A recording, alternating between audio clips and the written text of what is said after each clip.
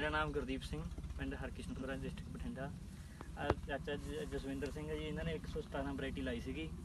ਤੇ ਇਹ, ਇਹਨਾਂ ਨੇ 117 ਵੈਰਾਈਟੀ ਲਾਈ ਸੀ ਸਾਥੋਂ ਇੱਕ ਮਹੀਨਾ ਬਾਅਦ। ਇਹਦੀਆਂ ਘੱਟ ਤੋਂ ਘੱਟ ਵੀ 20 ਤੋਂ 22 ਸਾਖਾਵਾਂ ਆਈਆਂ ਤੇ ਇਹ ਸਾਰੀਆਂ ਸਾਖਾਵਾਂ ਤੇ ਬੱਲੀਆਂ ਆਈਆਂ ਗਈਆਂ। ਤੇ ਬੱਲੀਆਂ ਵੀ ਬਹੁਤ ਵਧੀਆ ਆਈਆਂ, ਕੋਈ ਵੀ ਫੋਕ ਦਾ ਦਾਣਾ ਨਹੀਂ ਹੈਗਾ ਵਿੱਚ। ਤੇ ਇਸ ਦੀ ਪਰਾਲੀ ਵੀ ਬਹੁਤ ਘੱਟ ਹੈ ਤੇ ਦੂਜੀਆਂ ਮੈਂ ਜਿਹੜੀਆਂ ਸਾਡੇ ਵੈਰਾਈਟੀਆਂ ਆਮ ਸਾਡੇ ਲਾ- ਸਾਡੇ ਲੱਗੀਆਂ ਹੋਈਆਂ ਜ਼ਿਆਦਾ ਟਾਈਮ ਵਾਲੀਆਂ, ਉਹ ਤੇ ਅਸੀਂ ਤਿੰਨ ਤਿੰਨ ਚਾਰ ਚਾਰ ਸਪਰੇਹਾਂ ਸੁੰਡੀ ਵਾਲੀਆਂ ਕਰ ਚੁੱਕੇ ਹਾਂ। ਇਹਦੇ ਤੇ ਸਿਰਫ ਇੱਕੋ ਹੀ ਸਪਰੇਅ ਕਰੀ ਇਹਨਾਂ ਨੇ ਤੇ ਇਹ ਇੱਕੋ ਸਪਰੇਅ ਨਾਲ ਪੱਕ ਕੇ ਤਿਆਰ ਹੋ ਜਾਊਗਾ। ਇਹ ਘੱਟ ਤੋਂ ਘੱਟ ਵੀ 10 ਦਿਨਾਂ ਨੂੰ ਵੱਢਿਆ ਜਾਊਗਾ ਆਮ ਝੋਨੇ ਨੂੰ 15 ਦਿਨ ਪਹਿਲਾਂ ਵੱਢਿਆ ਜਾਊਗਾ। ਤੇ ਇਹ ਤੇ ਬਹੁਤ ਘੱਟ ਖਰਚਾ ਆਉਂਦਾ ਜੀ ਇਹ ਬਹੁਤ ਵਧੀਆ ਵੈਰਾਈਟੀ ਹੈ